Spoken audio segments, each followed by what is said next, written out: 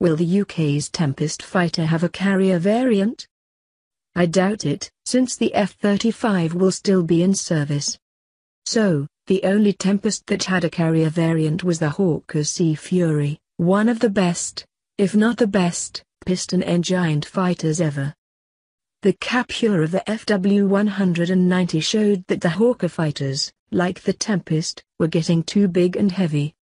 So Sydney Camm started work on a lightweight Tempest, doing away with the wing center section and making other weight-saving changes.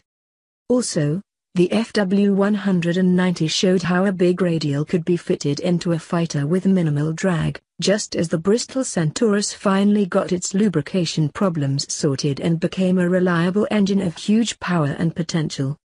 But, by that stage in the war the RAF was committed to jet fighters. However the fleet air arms still need the extra endurance that could only be got from piston engines, so the final British piston-engined fighter was a naval aircraft.